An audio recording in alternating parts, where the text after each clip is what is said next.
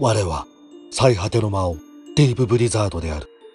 これまでは入門講座と称し、魔導書の基礎的な使い方を教えてきた。しかし、そこに至るまでの修練がわからぬと、嘆くポンポコリンがあまりにも多く、今回から数回にわたり、超入門講座と称し、徹底的にできないという言い訳をさせないための修練を行っていく。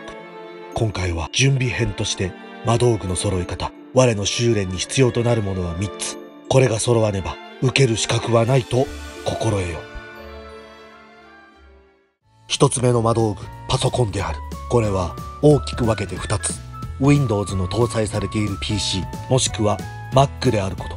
PC は Windows 7サービスパック1以上、MacOS は OS10.10 以上であることが必須条件となる。CPU やメモリに関しては、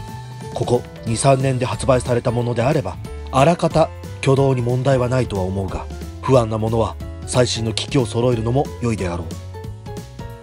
二つ目の魔道具、タブレットである PC、Mac を使って絵を描く場合、筆の速度、つまりは線の強弱をペイントソフトに入力するために必須となる。もちろん、マウスを使って絵を描くということも無理ではないが、無茶であると我は断言する。滑らかな筆の調べを堪能したければ必ずタブレットを準備するように。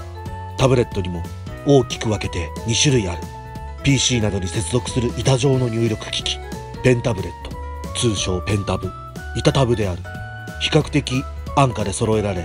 専用のペンで盤面上に線を引こうとすれば、PC 上で同じように線を引くことができる。有名なところでは、ワコムの Intuos シリーズなどをこれに挙げられるであろう。液晶モニターに先ほどのペンタブレットの機能がついている入力機器。液晶ペンタブレット、通称液タブである。板タブと比べると高価ではあるが、紙などに書くのと同じように、モニター上に直接ペンを走らせれば絵が出るのである。有名なところでは、ワコムの Cintiq シリーズなどがこれに挙げられるであろう。よく聞かれる質問で、板タブと液タブ、どっちを買った方が良いかというのがある。これについては、メリット、デメリットがあるので、いくつか挙げてみよう。書き心地であるが、板タブは書いている場所と書いたものが表示される場所が違うことで慣れが必要となる。液タブはモニタに直接書ける分、板タブより直感的ではあるが、メニューやパレットなどが書いている手で隠れてしまう。モニターの発熱で画面が熱くなることがある。などが挙げられるぞ。機能面で言えば、液タブがおすすめではあるが、板タブに比べると価格が高く、導入コストがかかるという面がある。最近では海外製の比較的安価な液晶ペンタブレットも出てきてはおるが、サポート面などを確認の上導入すると良いであろう。3つ目の魔導書、ペイントソフトである。近年多数の PC、Mac 向けのペイントソフトが有料無料問わずに出ておるが、我の修練においてはクリップスタジオペイントを用いる。講座の内容に関してもクリップスタジオペイント、その中でもフラッグシップモデルとなるプロ、上位モデルの EX を前提とした講義をこれまでも行っておる。他にも入門向けとしてクリップスタジオデビューというものもあるが、こちらはかなり機能が制限されているため、講座で使用する機能が使えないことが多いため、今回は除外する。これから行う超入門講座でもクリップスタジオペイントプロもしくは EX を前提として進めていくため必ず用意するように。